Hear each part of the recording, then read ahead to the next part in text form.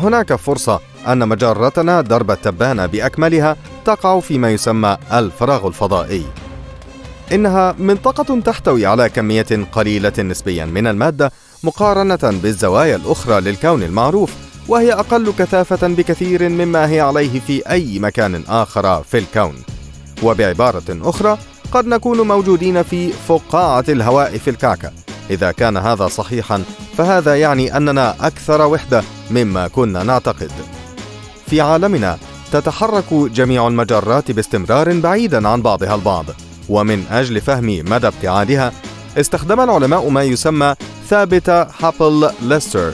إنه مثل عداد السرعة ولكن للمجرات. ومع ذلك هناك لغز كوني يسمى توتر هابل. إنه يتحدى ما نعرفه عن توسع الكون. اعتاد العلماء على اعتبار ثابت هابل ليستر دليلا موثوقا به لكن ملاحظاتنا الأخيرة تشكك في هذه الموثوقية. إن السرعات التي نراها في الحياة الواقعية لا تتطابق مع المسافات التي حسبناها وتوقعناها. إنهم غير متأكدين من سبب عدم إضافة هذه القياسات. تابع الباحثون تحركات المستعر الأعظم ورأوا أن الكون يبدو وكأنه يتوسع حولنا بشكل أسرع مما هو عليه بشكل عام كما لو أنه يتجنبنا بشكل نشط على وجه التحديد. وبعد التفكير في ذلك بدأوا يفترضون أننا جميعا قد نعيش في فراغ كوني. الفراغات الكونية عبارة عن مساحات فارغة شاسعة بين المجرات إنها تجعل عالمنا بأكمله يبدو وكأنه إسفنجة كبيرة. دعونا نعود إلى البداية. فقط جزء من الثانية بعد الانفجار الكبير مباشرة بعد بداية كل شيء. كان الكون عبارة عن بلازما ساخنة ومضغوطة ولم يكن بها سوى اختلافات صغيرة جدا في الكثافة تسمى التقلبات الكمية. بعد الانفجار الكبير بدأ الكون في التوسع ونمت معها تلك التقلبات الكمومية. مما أدى إلى خلق مناطق ذات كثافة مختلفة للمادة. ولهذا السبب لم يتوسع الكون في كل مكان بشكل موحد. وبدلا من ذلك بدأت صفائح صغيرة من المادة تتجمع معا لتشكل على مدى فترة طويلة هياكل ضخمة. المجرات يتم ترتيب المجرات في جدران ضخمة وخيوط مع وجود فجوات هائلة بينهما. وهذه الفجوات هي الفراغات والمعروفة أيضا باسم الفضاء المظلم. هذه الفراغات ليست فارغة حقا، فهي تحتوي في الواقع على أكثر من 15% من كمية المادة الموجودة في المتوسط في جميع أنحاء الكون بأكمله. ولا تزال تحتوي على الغاز والغبار والمادة المظلمة وحتى النجوم والمجرات. ومع ذلك فهي أقل كثافة من المناطق التي تحتوي على المجرات أي حوالي عشر متوسط كثافة المادة ولهذا السبب نعتبرها فارغة تقريبا. وعادة ما يتراوح قطرها بين حوالي 30 إلى 300 مليون سنة ضوئية وهذه مسافة هائلة حتى على نطاق الفضاء. وعلى سبيل المقارنة فإن معظم الكواكب والسدم التي اكتشفناها حتى الآن تبعد عنا مئات وآلاف السنين الضوئية. في حالة الفراغات إذا كنت في منتصفها فستبدو وكأنها ظلام أبدي. ستكون أقرب النجوم بعيدة جدا بحيث تكون غير مرئية تقريبا بالنسبة لك. بعضها كبير بشكل خاص. تعرف باسم الفراغات الفائقة. أكبر واحد معروف كان اسمه جاينت فويد إنه كبير جدا ومن المستحيل بالنسبة لنا حتى أن نتخيله. فهو يبعد عنا مسافة فاصلة خمسة مليارات سنة ضوئية ويبلغ قطره ما بين واحد إلى واحد وثلاثة مليارات سنة ضوئية. نعم إنه في الأساس فراغ مظلم عملاق لكن حتى هذا الفراغ العملاق ليس فارغا تماما. يضم الفراغ العملاق 17 عنقودا مجريا منفصلا ضمن امتداده. ومع ذلك قد لا يكون هذا أكبر فراغ في عالمنا. يوجد شيء يسمى CMB Cold Spot. إنه هذه المنطقة الكبيرة والباردة بشكل غير عادي من كوننا والتي رأيناها من خلال الموجات الدقيقة.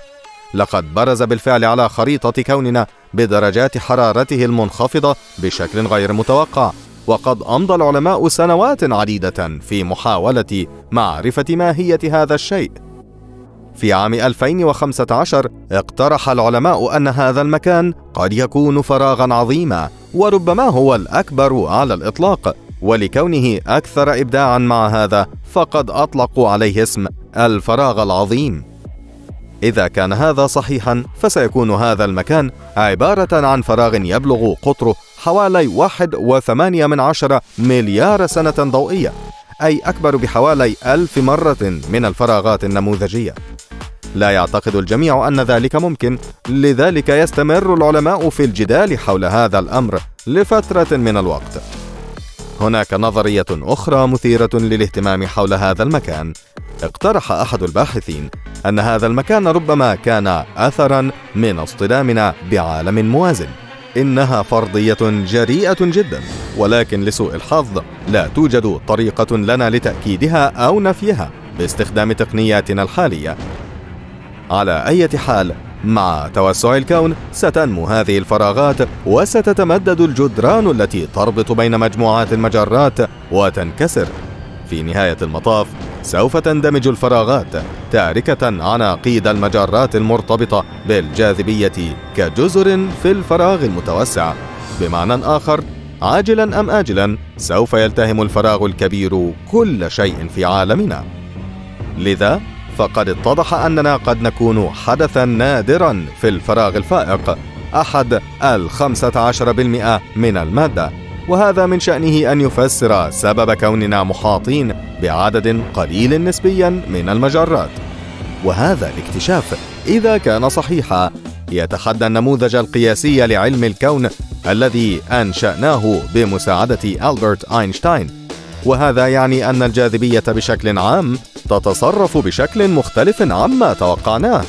وفقا للنموذج القياسي لا ينبغي أن يوجد مثل هذا الانخفاض الكبير في الكثافة. ولهذا السبب سيتعين على العلماء استكشاف هذه الفكرة والنظر فيها بدقة. قد يتحدى فهمنا الأساسي للفيزياء. أطلق العلماء على هذا اسم الثقب المحلي. قد يحمل اكتشاف الثقب المحلي أدلة لتفسير مفارقة فيرمي. ربما في هذا الجزء المحدد من الكون حيث نتسكع تكون فرصة تطور الحياة الذكية في أي مكان قريب منخفضة جدا. ربما جميع الكائنات الواعية تتسكع في مكان ما خارج فراغنا الفائق.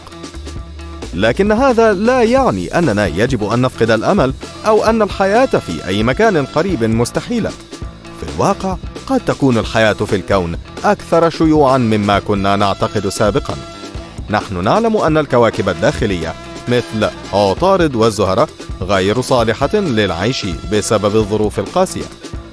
ومع ذلك يبدو كوكب الزهرة مثيرا للاهتمام لأنه على الرغم من كونه كوكبا ساما للغاية فقد اعتقد العلماء أنه كان يشبه الأرض كثيرا في الماضي.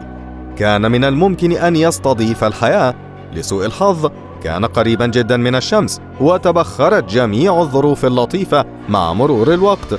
ولكن هناك احتمالية لبقاء الحياة الميكروبية في السحب العالية الارتفاع ربما كان المريخ وهو عبارة عن صحراء باردة مكانا أكثر ودية في الماضي مع الأنهار والبحيرات وعلى الرغم من أنها تفتقر الآن إلى جو وقائي إلا أنه ربما كانت هناك حياة قديمة موجودة هناك.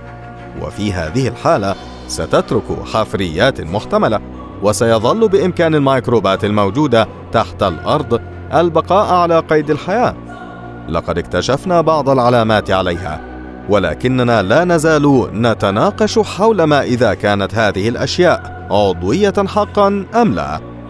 الكواكب الغازية العملاقة مثل المشتري وزحل والعمالقة الجليدية ليست مثالية للحياة.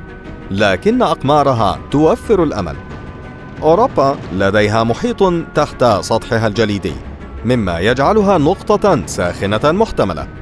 يطلق أنسيلادوس الماء إلى الفضاء حاملا معه جزيئات معقدة تشير إلى احتمالات مثيرة للاهتمام وتايتان فريد بشكل خاص وله أجسام سائلة على سطحه أنهار وبحيرات هيدروكربونية. على الرغم من أن درجات الحرارة المتجمدة فيه ليست مناسبة للحياة إلا أن العلماء يفكرون فيما إذا كان من الممكن أن يستضيف الحياة بنوع مختلف من الكيمياء.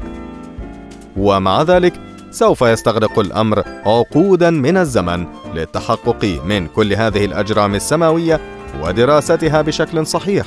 لم نرسل أي شيء حتى الآن منذ زمن Voyager 2 ولكن إذا كنا محظوظين فقد نتمكن من استكشاف نظامنا الشمسي خلال القرن الحادي والعشرين.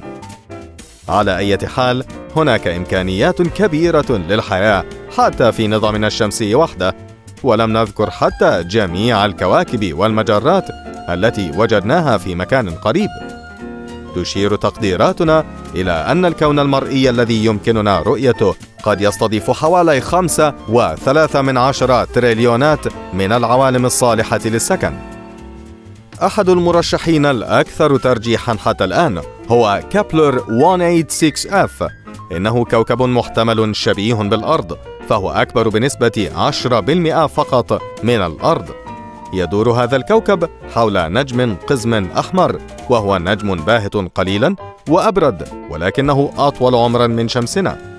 وهو يبعد عنا حوالي 490 سنة ضوئية فقط وهو ما قد يبدو كثيرا لكن تذكر المسافات التي ناقشناها مع الفراغات الفائقة. لذلك حتى لو كنا حقا في فراغ عظيم فإننا لا نزال محظوظين بوجود العديد من المجرات والكواكب حولنا. وإذا وجدنا يوما ما طريقة للسفر عبر الكون فمن المحتمل ألا يكون مغادرة الثقب المحلي مشكلة.